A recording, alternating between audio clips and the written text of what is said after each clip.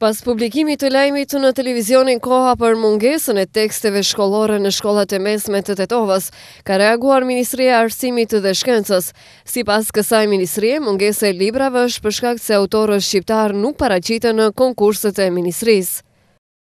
Çështja e teksteve shkollore, në veçanti për shkollat e mesme profesionale, me vite të tëra ballafaqohet sistemi arsimor në Republikën e Maqedonisë.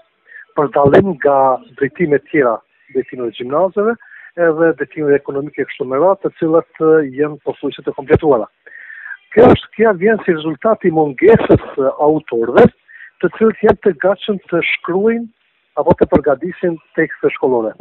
Disa herë brenda vitit Ministria e Arsimit bën thirrje publike që të paraqiten të interesuarit për të shkruajtur tekste shkollore respektivisht për të shkruajtur libra për nxënësit.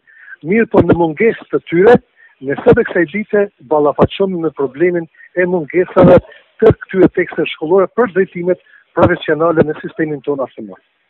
Ndryshe, dukuria e mungesës së teksteve shkollore nëpër shkolla tanimë po përsëritet për çdo vit, kurse mungesën e teksteve shkollore e konfirmojnë edhe përgjegjësit e shkollave të mesme në Tetovë.